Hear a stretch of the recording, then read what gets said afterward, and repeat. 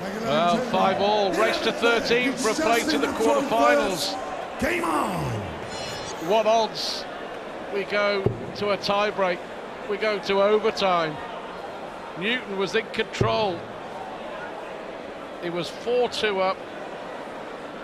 And 60. he looked like he was going to go 5-2 up with another break of throw before we saw that fabulous 1-3-2 as Newton hits a brilliant 180 the magnificent seven seven maximums in 11 legs that's some sharp shooting from Wes Newton It is indeed, Stuart.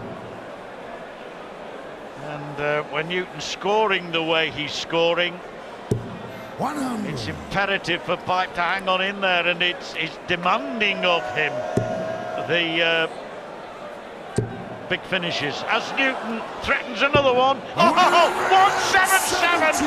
The nine dart finish is on for the second night running.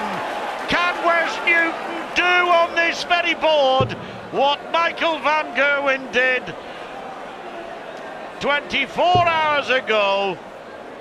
He wants 144 for a nine dart leg of dance. Race requirement 144.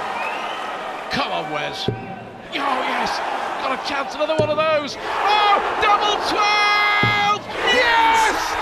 Magical darts A magical performance! And a magical world match play.